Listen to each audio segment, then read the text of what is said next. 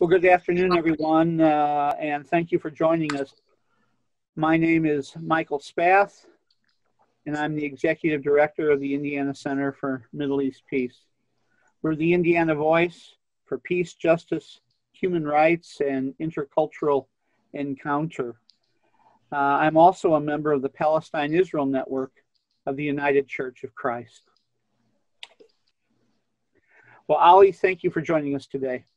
Thank you, Michael, and it's it's great to see uh, many many of you who I uh, had the opportunity to meet when I was uh, with you at the Indiana Center back in I think it was October 2018. Yes, for sure, and of course uh, you have friends from all around the country uh, on this Zoom call as well. And so, because you have so many friends here, uh, Ali, I wanted to just uh, check in with you. How are you doing health wise during the pandemic? And, and how are your parents? Uh, I know your dad, of course, Hassan Abu Nima. How are your parents doing in Amman? Thank you for asking. I'm, I'm happy to say they're doing well. Um, of course, Jordan, like everywhere else, is confronting this uh, pandemic.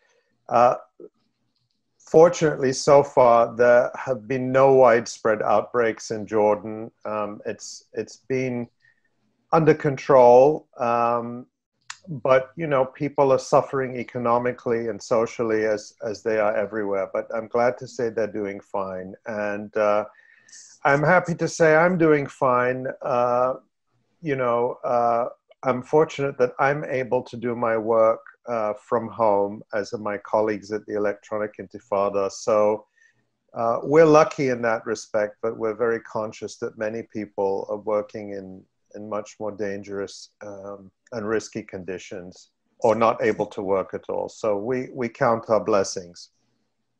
Well, good, good, good. Well, and uh, uh, we've been thinking about you, especially uh, uh, uh, in the heart of things in Chicago. So I'm glad to hear all is well with you.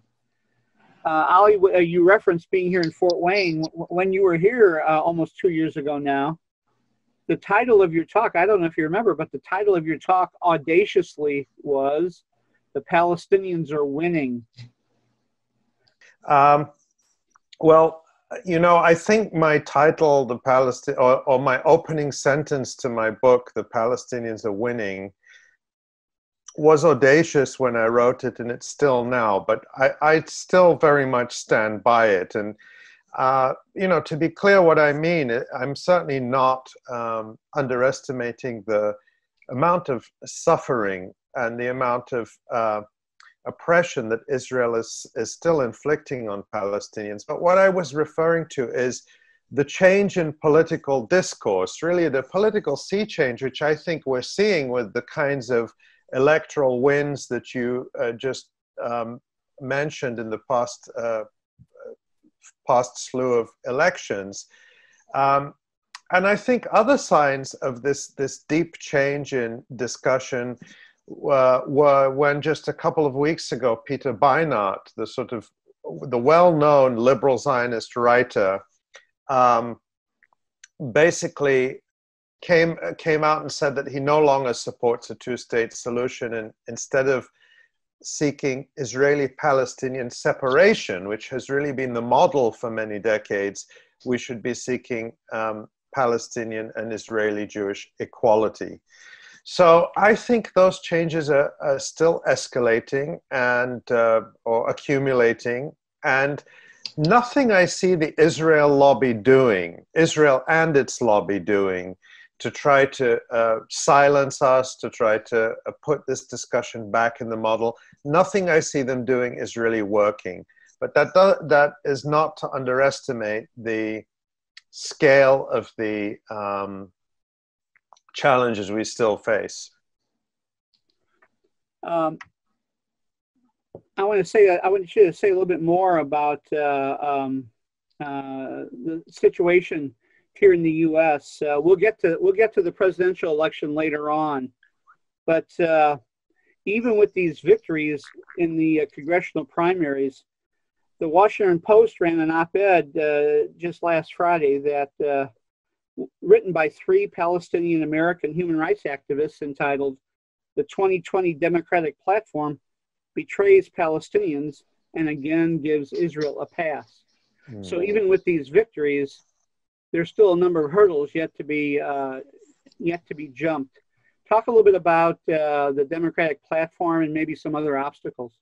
Yeah, what what we're seeing uh, in the Democratic platform fight is um, really a, a, microcosm of the battle that has been raging in the um, in the uh, grassroots of the Democratic Party for a number of years, and so uh, we, you know, the, the primary victories we've seen by some progressives who are very open about their support for Palestinian rights, even supportive of the boycott, divestment, and sanctions movement, comes against the backdrop where the establishment is still very firmly in the old model, where you don't criticize Israel, where um, unquestioning support for Israel is the one bipartisan issue. That's the one thing they agree with the Republicans on.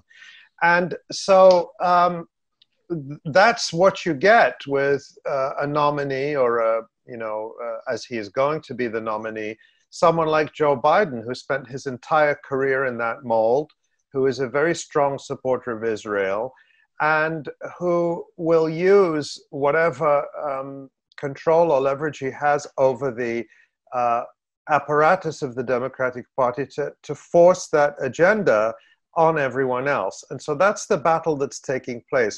What we saw in the platform committee, really, uh, uh, in the last uh, week or so, as we've seen in previous years, when Bernie Sanders was was more involved in it last year and the uh, you know la- last uh, time around, uh, sorry, was um, efforts to put in the platform language that at least acknowledges uh, Palestinian rights, at least acknowledges the reality that Palestinians are living under Israeli occupation. And this year, that's what happened as well. There were efforts to amend the platform to include recognition of um, Israeli occupation, to place very modest conditions on Israel, on U.S. military aid to Israel, and those were rejected completely by the establishment, by the, let's say, the corporate establishment wing of the Democratic Party. But that's not going to make these issues go away and it's not going to silence the grassroots. I think, if anything, it's going to feed the determination of grassroots activists to ensure that their voices are heard because it's not just on the question of Palestine that um, you know the the party establishment is shutting uh, people out. Similarly, you know, they, they, one of the most popular policies in the grassroots of the Democratic Party is Medicare for all. The platform, yeah. they wouldn't even allow a vote on that, let alone to actually adopt that as the party policy. So you have to see the question of Palestine within the broader context of the fight uh, in the Democratic Party. I'm not so confident that the the fight can ever really be won within the Democratic Party the way it is. A lot of people are saying, well, maybe we need to find an alternative. I, I think that comes out of the frustration that many people feel time and again seeing grassroots voices and progressive voices shut out and slapped down. But nevertheless, the battle goes on, and when there are victories in it, we, we celebrate them you were you were one of the very first people to uh, that I know of to talk about the one state solution. We've interviewed uh, Awad Abdel Fattah and Jeff Halper uh, in this platform about their plan. How do you assess the situation uh, these days, given Israel's annexation plans? Well, I, you know, I mentioned uh, Peter Beinart coming to to uh, to the conclusion that a one-state solution is inevitable. And of course, you know that that created a lot of discussion, and he was given an op-ed in the in the New York Times and was invited onto many shows to talk about his views. And as many people pointed out, these are positions that Palestinians, including myself, had been talking about for many many years. Um, myself, you know, I my book One Country. Um, putting forward a one-state solution came out, I think, in 2006. So that's that's 14, almost 15 years ago now. Um, but so you know, for us, for people like us, maybe it's old news, but uh, it, it, it, was big news for a lot of the people who followed Peter Beinart or who read the New York Times or who listen to NPR, for whom uh, you know the, the idea of a one-state solution was just so remote. Um, but the key point here is that the recognition of those like Peter Beinart that this is now the way to go comes from an understanding of the reality on the ground that it is already one single state, but it is one single state ruled by Israel according to a very unjust, very oppressive apartheid regime, and that, that the effort to separate Palestinians and Israelis uh, would do more violence and be more difficult uh, and be more unjust ultimately than uh, giving people uh, full and equal rights, uh, making restitution, making reparations, and seeking truth and justice and reconciliation. Those things aren't by any means easy. Let's, let's not pretend they're easy. But that is the path that has been um, pursued in, in pretty much every similar situation that we can think of, whether it's in South Africa or whether it's in Northern Ireland. And, and in the past few days, John Hume uh, passed yeah. away, who was one of the key figures in, in making the agreement happen. And I, in, in uh, my book, The Battle for Justice in Palestine, I look at both Northern Ireland and South Africa as potential models, not only to learn what was successful, but also what uh, what we should do better because there's there's plenty of um, uh, you know shortcomings in in what was attempted in those places. And uh, you know th- those are experiences we should build on not simply try to replicate your dad just a week ago wrote uh, a wonderful uh, op-ed in the jordan times about the one state solution and about how it's de facto i mean exactly what you said how how israel has made it a de facto uh, one state.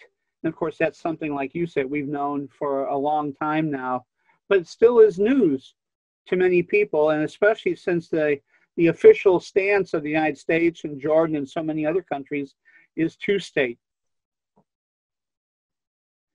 Um, you've been writing recently, uh, uh, Ali, as well as your other reporters, uh, about uh, uh, the what's happening in Europe.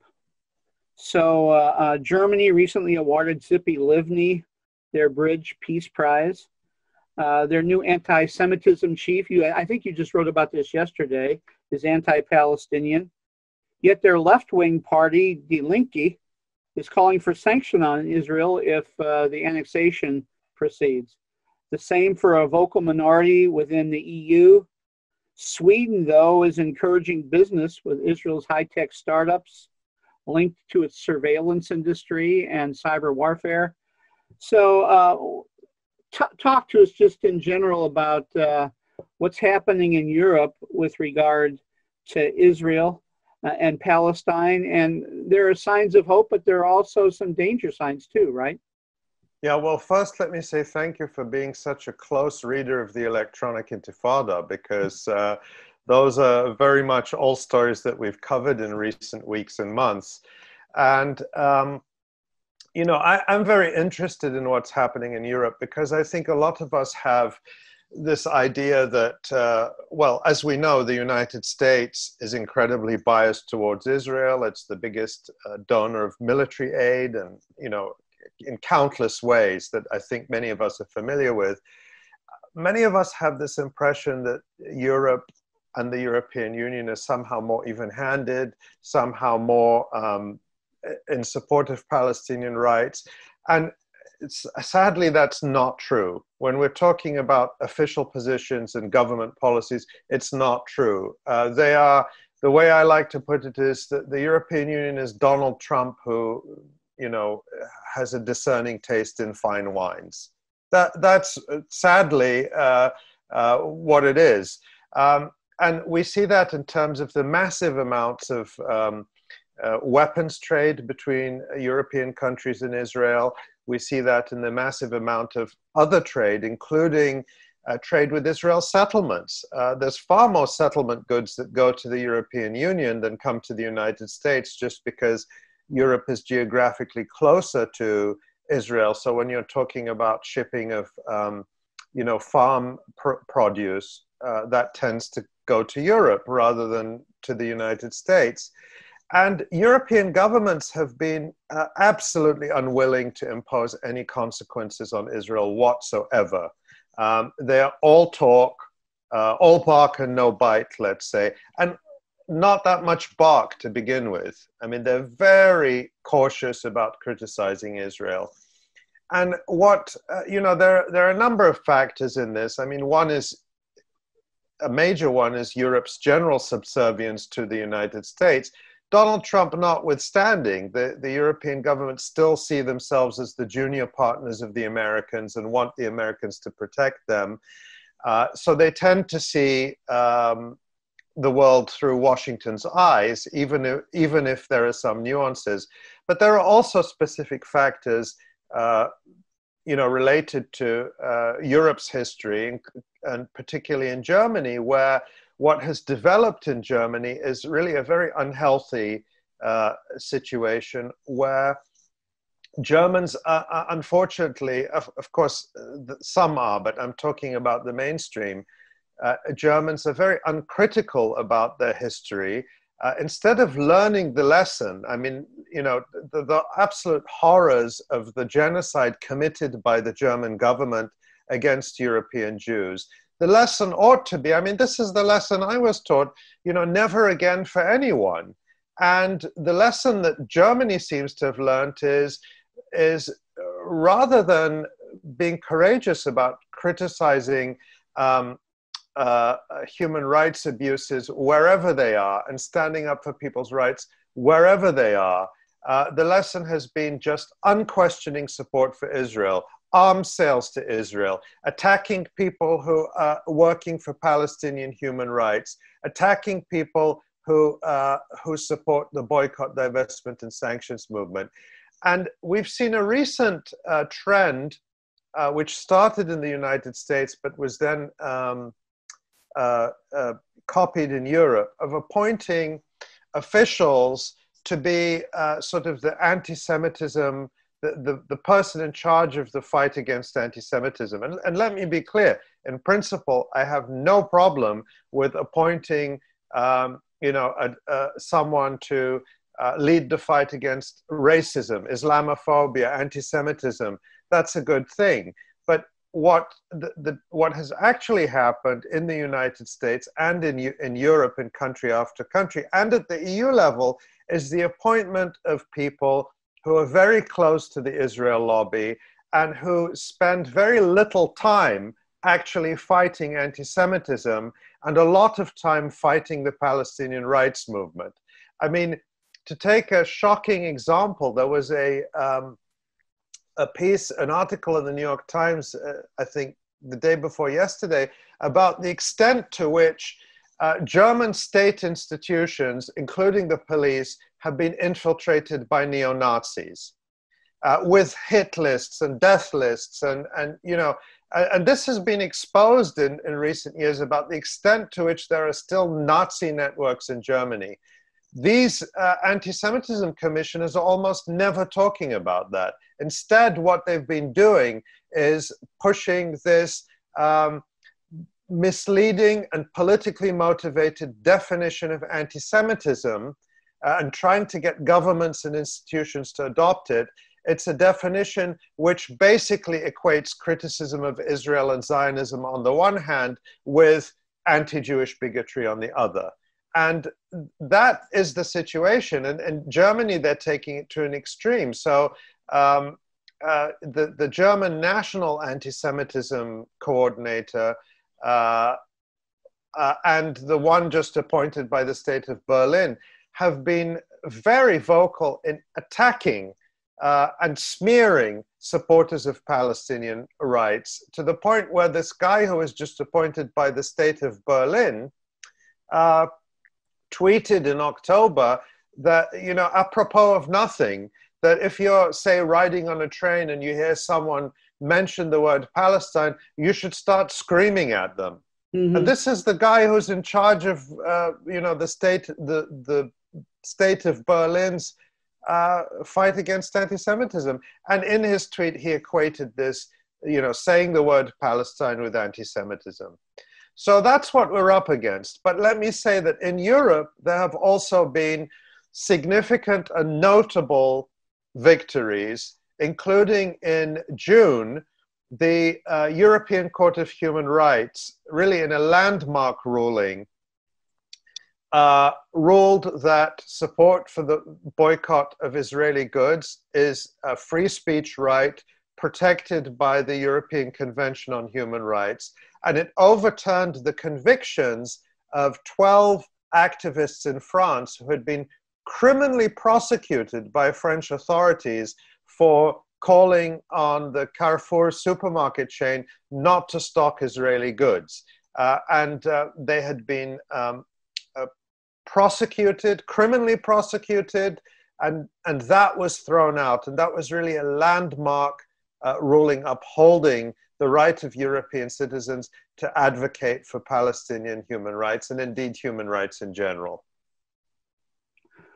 I want to ask you about uh, uh, the anti BDS uh, res- resolutions. Um, uh, more and more in our country and around the world, um, Canada being a recent example, there are resolutions and laws passed that are restricting speech critical of Israel. You just mentioned it in Germany as well. Do you see this as a backlash against the success of BDS or a case is two steps forward, three steps backward? I think it's primarily a backlash, but it definitely absorbs a lot of people's energy in trying to fight this. You know, that's time and energy we could spend educating and mobilizing people uh, for human rights. And I think part of the strategy of Israel lobby groups is simply to tie people up in these uh, battles or lawsuits or, or whatever else they come up with and absorb our energy. But nonetheless, I think it is a reactionary um, strategy from them. They, they really can't sell Israel. Uh, they don't have a positive message to sell Israel uh, as you know really a beacon of human rights or of uh, uh, you know wh- whatever other positive associations they may have with it. So all they can do is try to shut down the discussion, and so we do see these anti-BDS laws and resolutions across the country. I think something like uh, 25 U.S. states have passed uh, various kinds of anti-BDS legislation.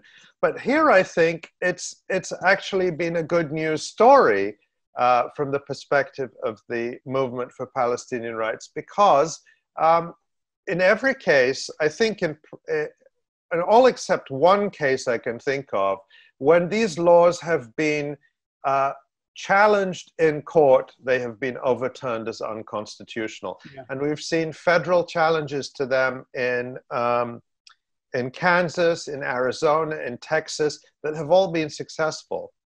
And um, we saw another very uh, worrying and damaging uh, strategy used by the Israel lobby is going after universities to silence academics and students.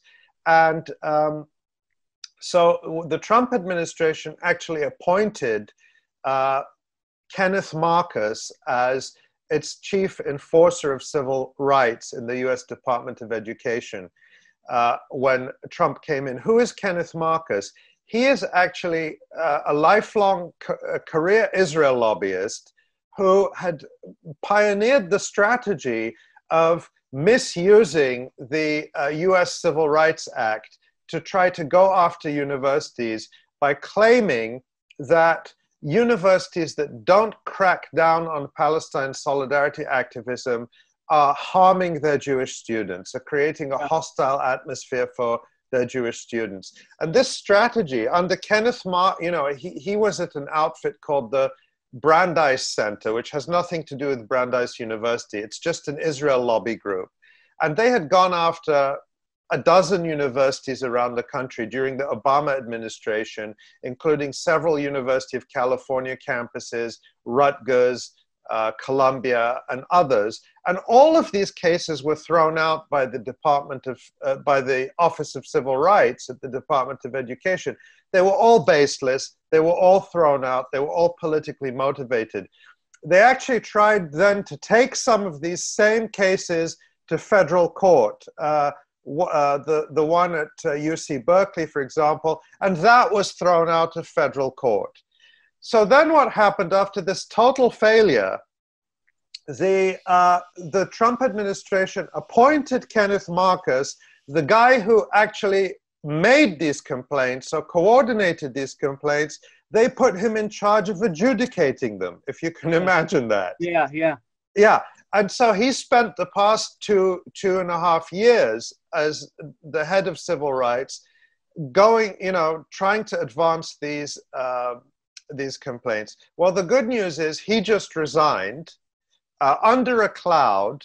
Uh, it turns out that he had improperly used his, uh, he basically abused power. I mean, there were hundreds of genuine civil rights complaints that were awaiting uh, investigation and adjudication. He pushed all those aside in order to revive and give priority to the Rutgers complaint which had already been thrown out and which he was allowing a, a pro Israel group to refile just because he was there and perhaps he thought he could fix the result. So, you know, th- this is uh, an example of where there are intense efforts at censorship.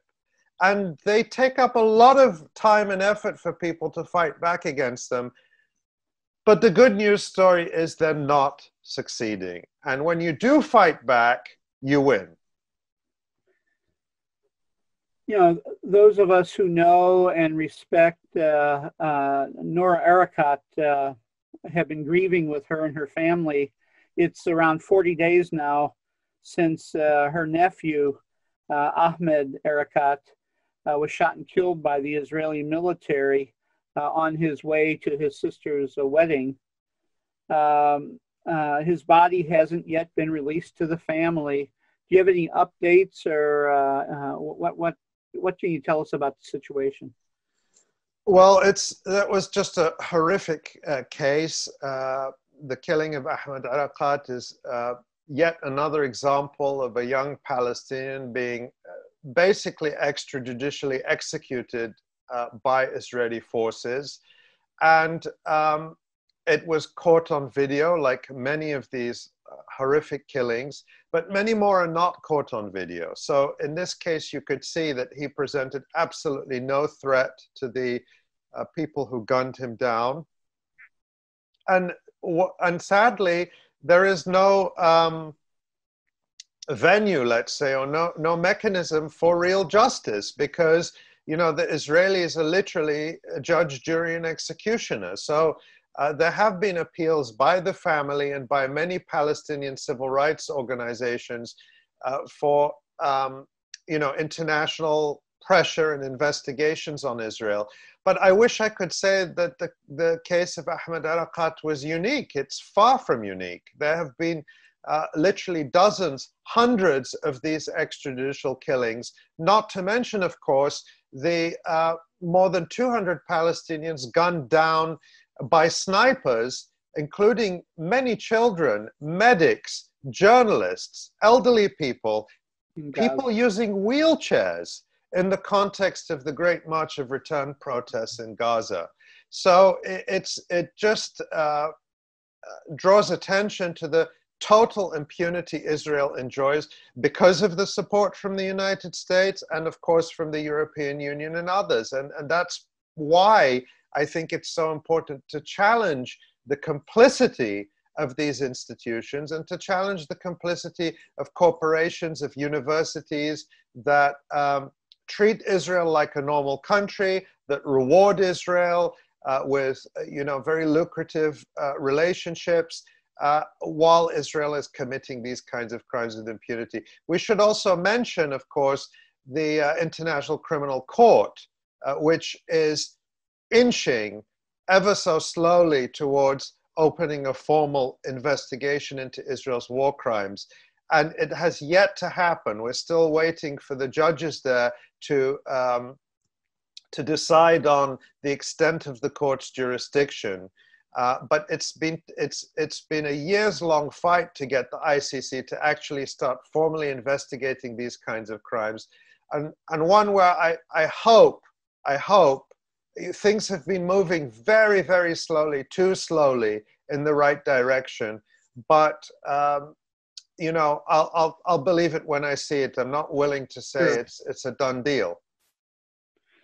You know, we uh, we've been very concerned about the prison population, the Palestinian prison population within Israel in the military prisons, uh, especially children and youth, and especially during this time of the pandemic when they're living forced to live in these very very close quarters where the disease or the virus can spread so easily. Um, catch us up with uh, what's happening there. Well, just in the last uh, week or so, there was a decision from the Israeli Supreme Court uh, in response to a challenge from human rights groups, uh, a decision that Palestinian prisoners have no right to social distancing in Israeli detention. And this is, this is uh, sadly not surprising, but it's no less devastating because there are more than uh, 4,700 Palestinian political prisoners in Israel's prisons. That includes um, more than 160 children at the present time, and about a thousand prisoners who are considered very vulnerable either due to chronic illness or old age. And there have been uh, repeated calls by uh, international bodies and by human rights groups, Palestinian, Israeli, and international, that Israel should uh, release, at the very least, the children and the vulnerable prisoners and yet it, it has not done so. And sadly, there have been documented cases of, of Palestinians who have been released uh, from prison uh, uh, with and then tested positive for the coronavirus.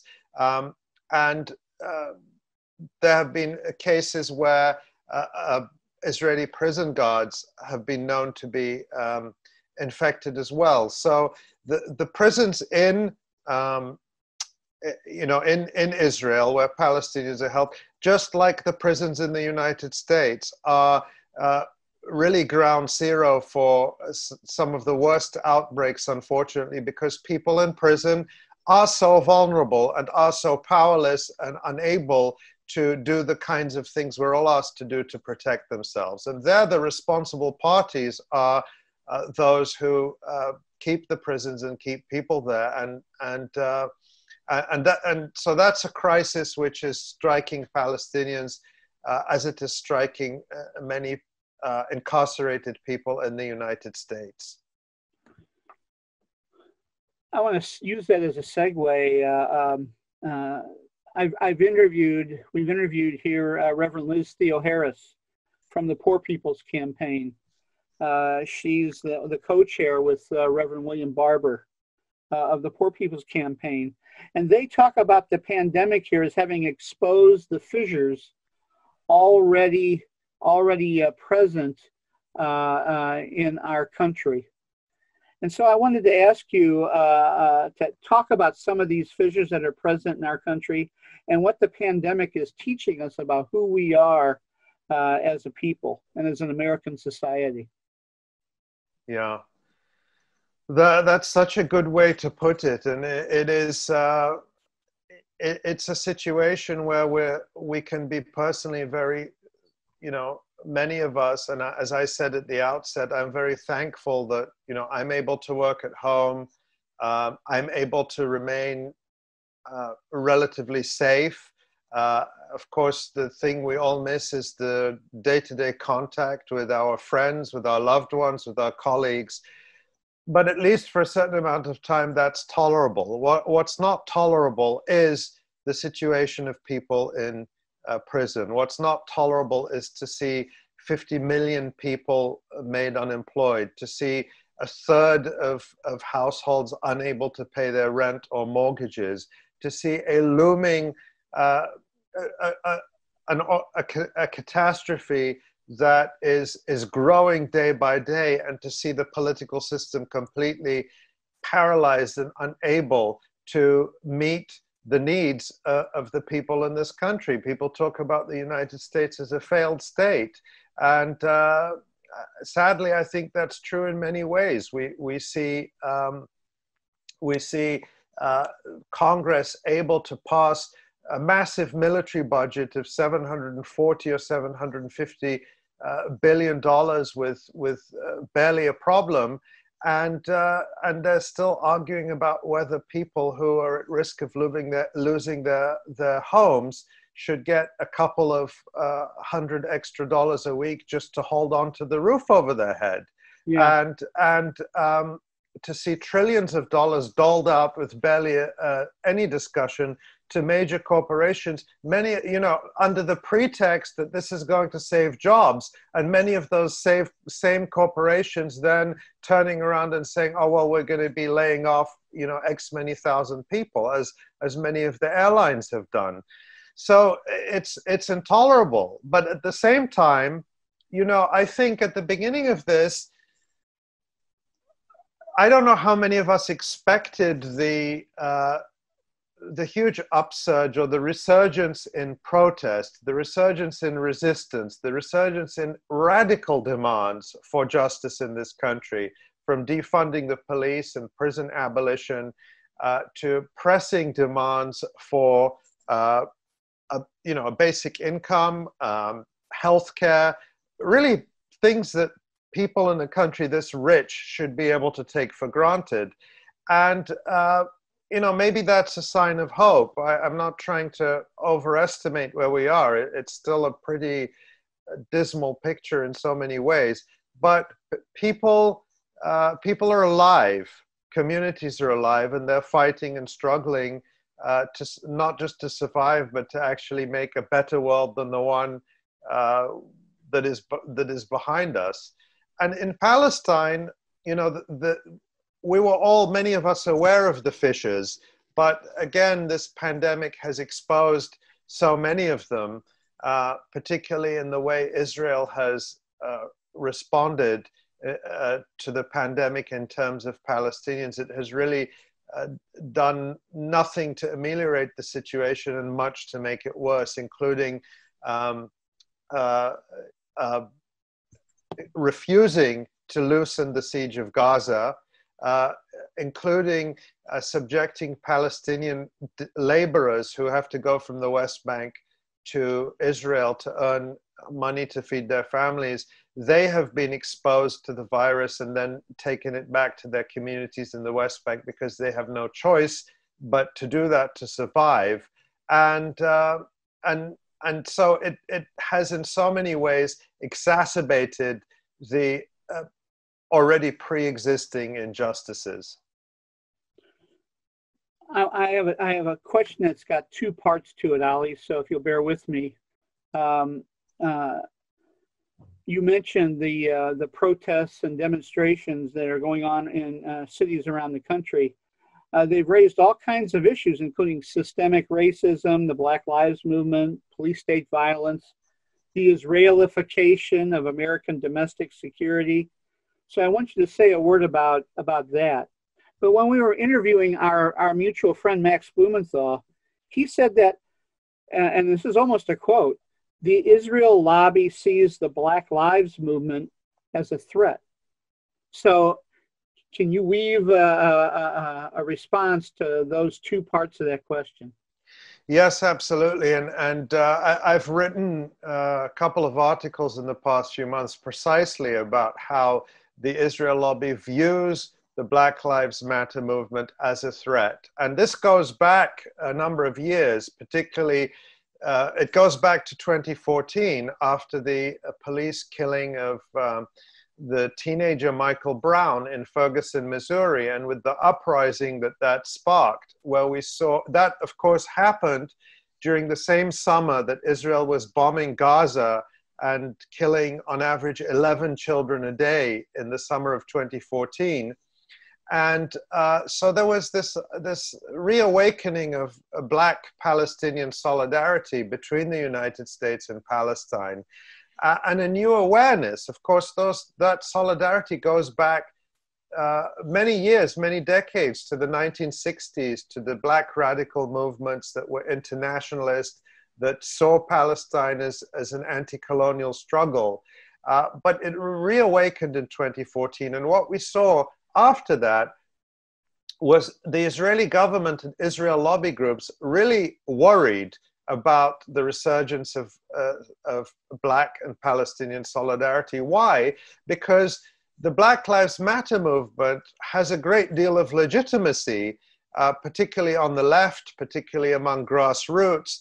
And uh, so they were just very worried about bringing the issue of Palestine into that fold.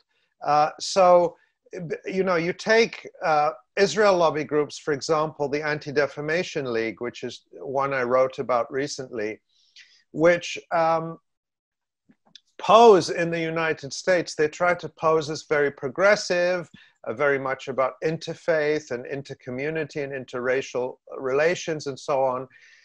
But of course, they're supporters of Israeli apartheid, and they spend much of their effort um, trying to attack uh, supporters of Palestinian human rights. So they actually had an internal memo that was leaked a few weeks ago to the publication Jewish Currents, laying out uh, precisely this dilemma of how they can continue to appear to be progressive in the US on issues like Black Lives Matter while maintaining their support for Israel.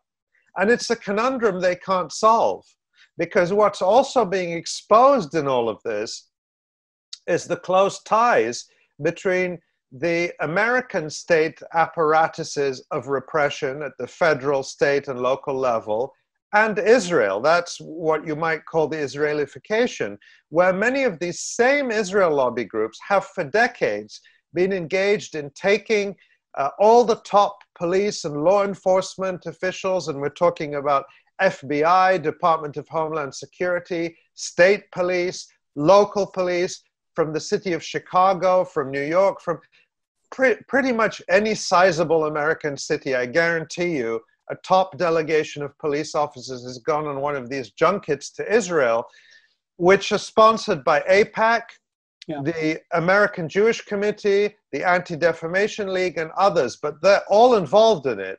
And the, and the way they market it is oh, Israel is so experienced in dealing with terrorism and security threats, and we're so smart at this. Come and see how we do it. So you can go back to the United States and apply the lessons you've learned. And that was a very good uh, marketing strategy post 9 11 but in the era of Black Lives Matter, there's a backlash against it because people are, are, are saying, why are our police driving down the streets in tanks? Why are our police in camouflage? Why are our police carrying assault rifles and wearing night goggles as if they're soldiers and we're their enemy? And uh, I don't want to give the, you know, let's be very clear. Uh, we should not in any way take uh, the idea that, you know, but for Israel, American police would be uh, great and would not be racist. You know, sadly, US police forces need lessons in racism from nobody. Uh, but what it is, is that Israel, uh, in a way, provides an opportunity to launder this racism as uh, you know, sophisticated techniques and technology that are quote unquote battle tested uh, and tested on the ground. What does that mean? That means tested on Palestinians under military occupation. It means tested on Palestinians in Gaza, caged in what is effectively a giant ghetto, and marketing that to American police departments. So, this growing awareness, uh, which comes through the Black led struggle of the Black Lives Matter movement, is uh, another enormous challenge to the uh, Israeli and Israel lobby narrative that they don't know how to deal with. But that, in a nutshell, is why they see um, why Israel and its lobby see Black Lives Matter as a growing threat. I want you to say a word. I want I want to take us back to Palestine and Israel now. I want you to say a word about the seizure last week of BDS movement General Coordinator Mahmoud Nawajah and the arrest the week before a husband and wife. Now they've been they've been released, I understand, but uh, uh, the arrest the week before of Suhail Khoury of the Edward Said National Music Conservatory and his wife uh, Rania Elias of the Yabous Cultural Center from Beit Hanina say a word about just these kind of uh, uh, arrests that are taking place now under the guise really of the pandemic. I mean, Israel's getting away with an awful lot under the guise of the pandemic now these days. Yeah, let me say regarding the arrests in Jerusalem of uh, uh, related to the Edward Said Conservatory and the Yabous Cultural Center. Uh, this is part of a long running campaign by Israel, a long running crackdown to destroy any Palestinian cultural and institutional presence in occupied East Jerusalem. It's about um, erasing, attempting to erase the Palestinian, Arab, Muslim, and Christian character of Jerusalem and to remake Jerusalem as a Jewish only theme park.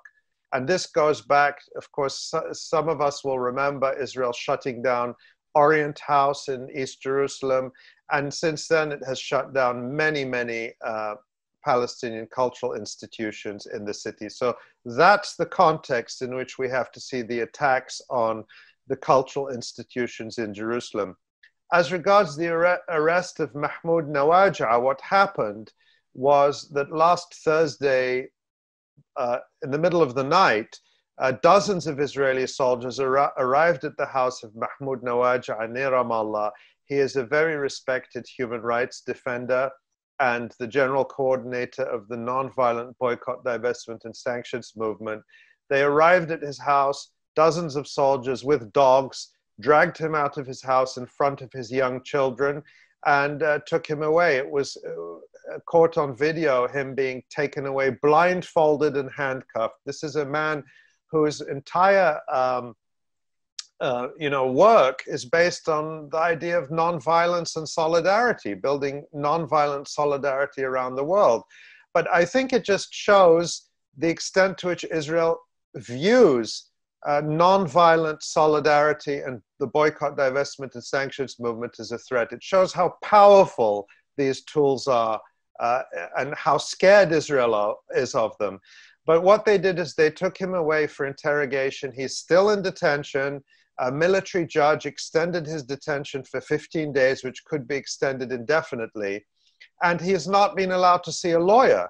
So very little is known uh, as to what conditions Mahmoud Nawajah is being held in or, or what they're doing. But this is clearly part of Israel's long running effort to smear the BDS movement as quote unquote terrorist and to intimidate uh, its leaders. And it's exactly what you would expect from a regime like Israel's. And as Omar Barghouti, a co founder of the BDS movement, said, it's very reminiscent of the tactics that Israel um, uh, sorry, that apartheid South Africa used to uh, deploy. And I have been trying to get a statement from the European Union on this for a number of days. I had a written promise from them that I would get a statement, and I'm still waiting for that. But this again shows, I think, the complicity of the European uh, governments who, uh, you know, uh, talk night and day about how much they support human rights. But here we have a clear case of a human rights defender being dragged out of his home in handcuffs and a blindfold in the middle of the night. And almost a week later, they still can't bring themselves to utter a word about it. It's absolutely reprehensible. We have a question from the chat room. Uh, what about dark skinned Jews, Armenians, and other groups that are being mistreated? Well, you know, Israel, even among Israeli society, Israeli Jewish society, uh, Israel is a caste system. At the bottom of the rung are Palestinians.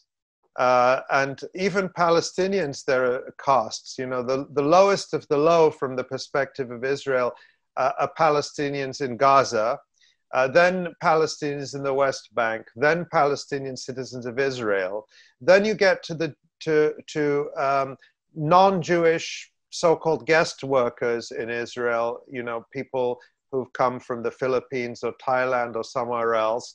Then you get to Jew- Jewish society, and even within Jewish society, it's a caste system where uh, it's very, very strongly racialized, and, and historically, uh, you know, Jews from um, uh, Arab origin countries were at the bottom of the rung. But since uh, Israel uh, brought uh, Ethiopians to the country in the 80s, in the 1980s, you know, black Jews, Ethiopian origin Jews, have really been at the bottom of the rung in terms of Jewish society.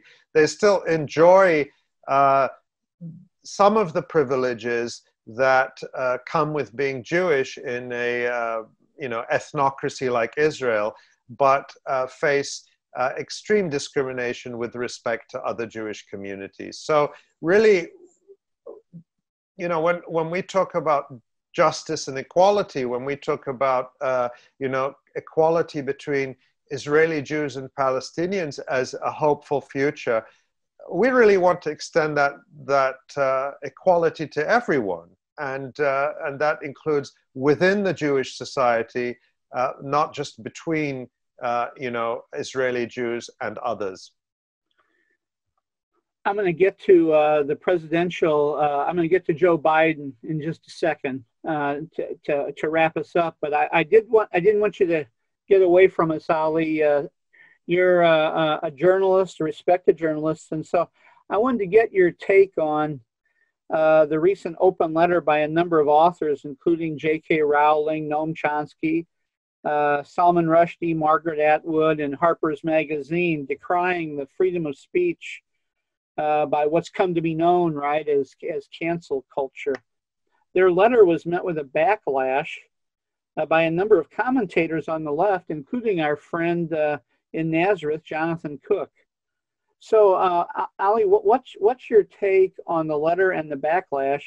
And if you'd like to include the resignation of Bari Weiss from New York Times, who attacked uh, in strenuous terms one of our upcoming interviewees, Linda Sarsour. Mm. I- I'm assuming you have an opinion or two about this. I do. Uh, of course, you know, in principle, of course, I'm in favor of free speech. Of course, I'm against punishing people for expressing their opinions or firing them. But this letter was just a, a, a, an exercise in the most, uh, you know, uh, disgusting hypocrisy and narcissism.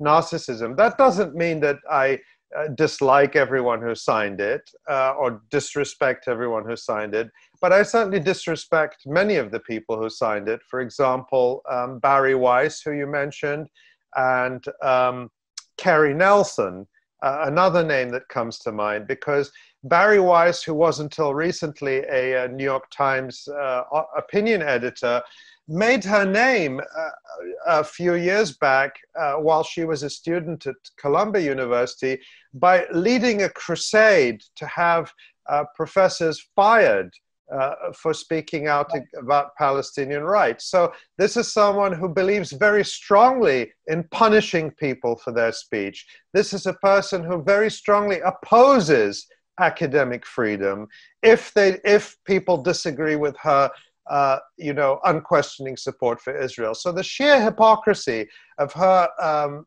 you know, signing this letter and trying to launder herself as a supporter of free speech was ab- absolutely uh, appalling.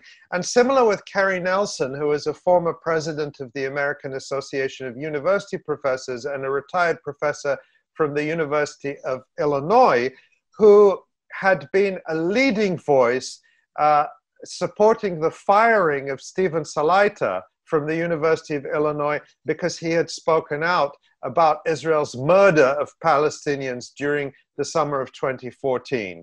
Uh, so again, Cary Nelson wants to tell us he's in favor of free speech. He definitely wasn't in favor of the free speech of Steven Salaita. So really, that that in sum is why I found it so hypocritical. And really, what they seemed to be complaining about was that rich, privileged people like J.K. Rowling don't like getting, um, you know, criticized online when they they they say things people disagree with. That that seems to have been their main complaint. They didn't like that James Bennet, the uh, New York Times opinion editor, was fired after he published uh, the op-ed by Tom Cotton, uh, you know, basically calling for the U.S. military to invade cities and violently put down Black Lives Matter protests. I saw this letter very much as an attack on also on the Black Lives Matter movement because why were they complaining at that particular moment when all of these people, as far as I, uh, or the vast majority of them anyway, have been completely silent about what we talked about earlier on.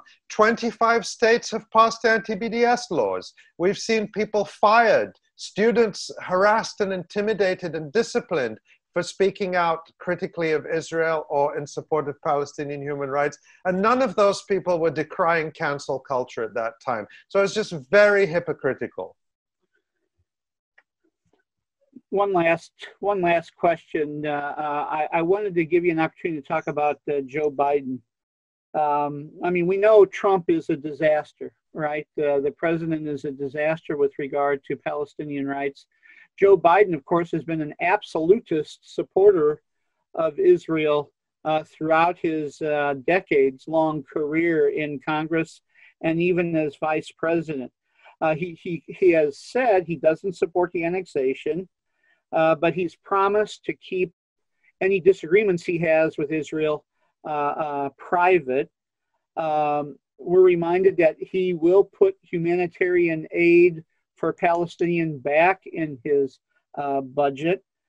Um, um, so I want you to say a word about President uh, about, about uh, uh, the presidential nominee for the Democrats, Joe Biden.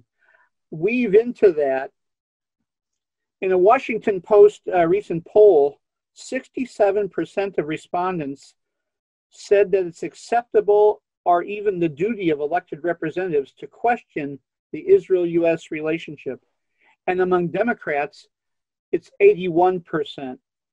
So, what's the strategy for us activists, assuming, and we can't assume, but assuming a Biden presidency?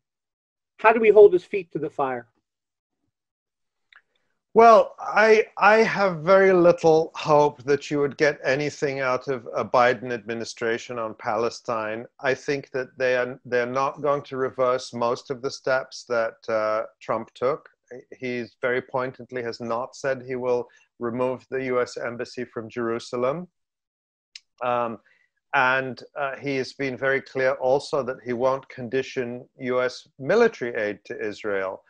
And uh, frankly, I, I, I, very much doubt that Biden can be pressured on this issue. Uh,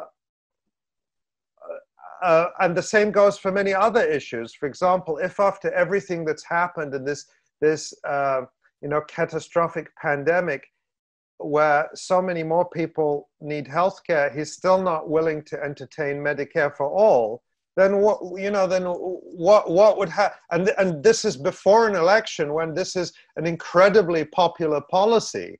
Uh, you know 90% of democrats support medicare for all and you know you get majorities of republicans who support it as well. He's not willing to shift on that before an election. Don't expect him to do so after and I think a similar, similar analysis applies with respect to Palestine. But, uh, uh, you know, in the best case scenario, Biden is a transitional figure either to something better or, you know, heaven forbid, to something worse. Uh, but what we have to work for is, I think, uh, the medium run or the long run, where we continue to educate people, we continue to mobilize them, people continue to work at the grassroots level. We started this conversation by talking about all the hopeful victories we've seen in recent primaries.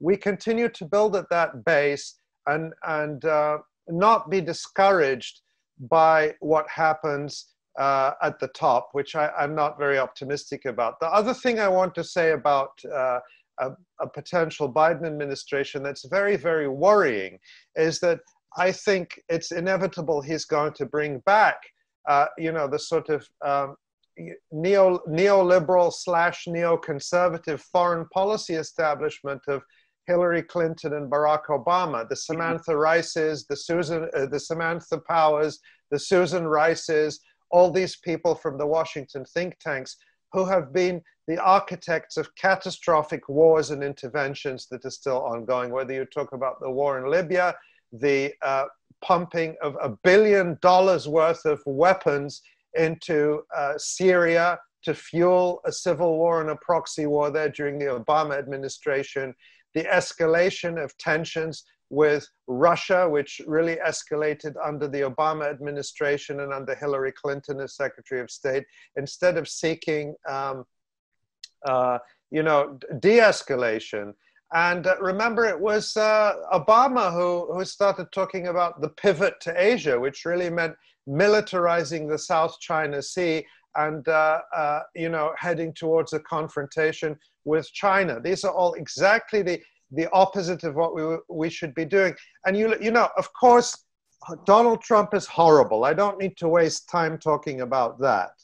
But look at where the criticism of Donald Trump comes from uh, in the foreign policy establishment. It's not that Donald Trump isn't doing enough for world peace, that Donald Trump isn't doing enough for de escalation. They criticize him from the right they say, oh, Donald Trump is too soft on Russia, when this is not true at all. Oh, Donald Trump is too soft on China. We have Nancy Pelosi talking up sanctions on, uh, on China, uh, and so on. They're, they're, they're criticizing him for withdrawing troops from Germany, when in fact we should be seeking to bring US forces home and close down wasteful military bases around the world.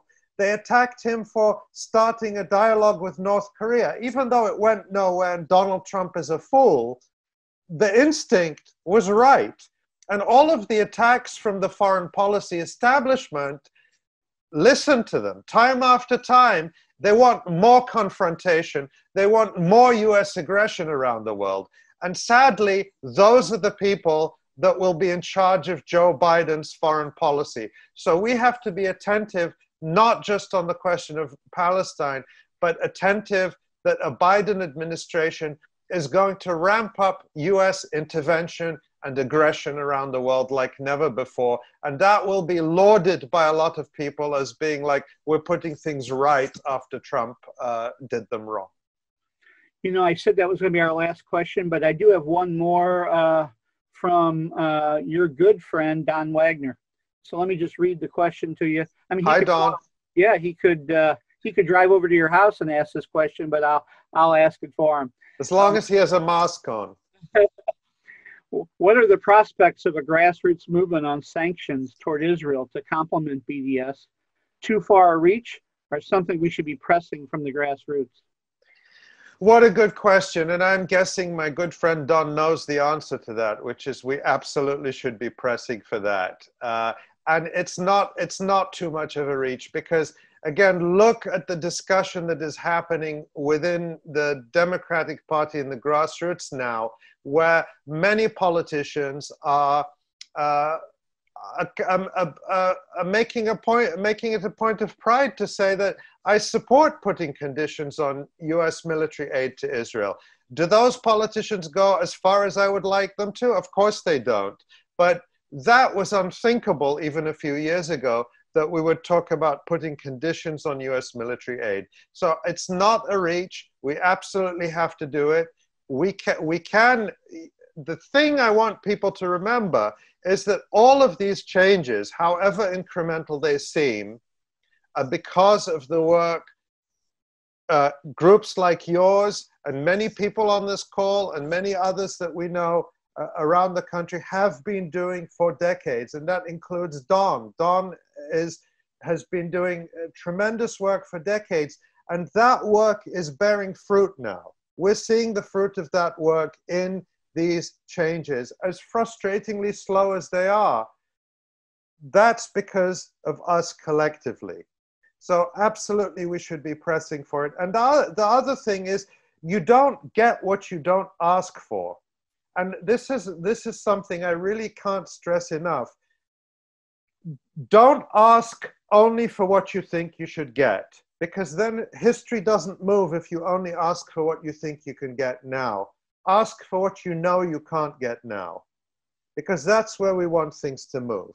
And they will only move that way if we press to go much, much further than anyone thinks we can now. So, absolutely, sanctions is something we should be asking for and pressing for.